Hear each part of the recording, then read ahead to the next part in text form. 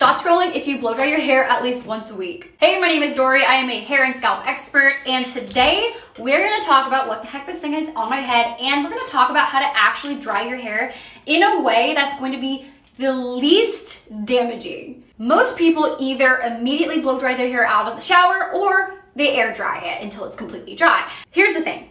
They are both damaging in their own ways, right? When you use a blow dryer on really damp, like soaking wet hair, it's gonna take a really long time for your hair to dry. And the amount of time that that air is blowing onto your hair that can cause damage and the excessive amount of time that that heat is on your hair, that can also cause damage. But on the contrary, if you put this puppy away and you only air dry your hair, your hair is going to be in that wet, fragile state for a very long time.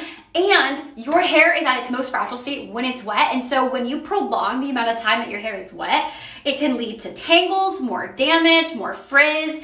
And so what's the happy medium? The least damaging way to dry your hair is to out of the shower, wring your hair out, plop it into one of these microfiber towels. Um, I have these linked on my website. They're really thick and they feel amazing. Um, they come in lots of colors too. So keep this on for at least 10 minutes. And then you're gonna want to air dry your hair about 80%.